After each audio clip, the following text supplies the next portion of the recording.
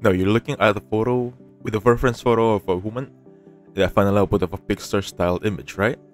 Now don't worry about this one, it's a very easy task to do. Just took one click technically. Now another example for you guys is gonna be this one. Basically the same Disney Pixar photo from a reference photo of a woman. Now um with this video I'm gonna teach you how to create this because we're gonna discuss how to create your own image using Lensgo AI. So good morning, good afternoon, and good evening. Welcome to the video and let's get straight to it. Let me just go to the website. Now this should be the one bit page you should be seeing on your end. The link is gonna be lensgo.ai and then this should be what you're seeing also. So there are two ways to proceed on this one. You can either click the restyle photo on this side or go straight on the left side to create images. So let me just go on create images and then you'll see this landing page. Basically, you'll see the previous creation I've made I have a lot of things we made here. And technically for now, we're gonna go straight to it. Now, the idea here is gonna be image to image. So the thing is, first thing, you need to select a model on the left side. So since we're targeting some Pixar and some anime style, I'm gonna go for Pixar. There is a size for the photo, I'm gonna stay one by one. Number of images, I'm gonna go stay with one. So, or rather two, to save some time. And then basically I'm going to add my image. On the underside of this section, there is upload image just beside prompt bar. Let's upload our image. I'm going to look for a sample image I got. Where is that one? This one right here.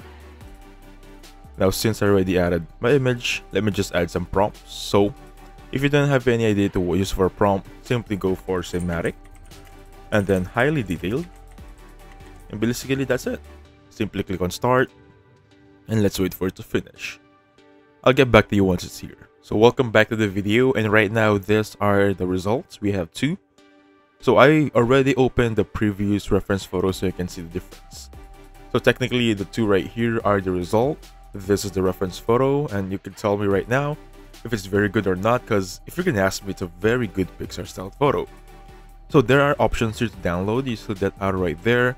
Simply click on it and you'll download the photo.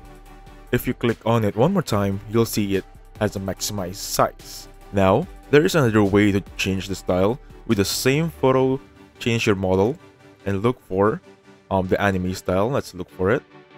I'm gonna go vintage comic. Same um, photo, same prompt. I'm not gonna change anything, so I wanna show you guys. Now for this one, I'm gonna go with the one to save some time. Click on start and I'll get back to you once it's here. So welcome back. This is gonna be the anime style photo. If you're gonna ask me, it's pretty good right now. So let me just pull it up. Pull up the reference photo, and right now you can see the difference. The exact reference or the key points of the original photo are still there. The nose, the hairstyle, and how it was curled, and even the shape of the face, right? Even the dress, if you can ask me. So that being said, you can make major changes. For example, on the prompt, let me just add some more smile or rather rain and storm. And basically with that I can just simply click on start and wait for it to finish. So the thing I did here is I'm trying to create or make the photo smile or the person inside the photo smile and then have a different background of a rain and storm. So I'll get back to you once it's here. So welcome back right now. This is gonna be the result. If you're gonna ask me we're now on a rain and storm background with a smiling photo it's a bit weird regarding the smile, but still it's smiling, right? Anyway, to download this one again, hover your mouse, you'll see that icon right there, click on it and you'll be downloading it on your PC. And that being said, that's it. Thank you so much for watching, please do the like button, subscribe, I'll catch you guys in the next one. Goodbye for now.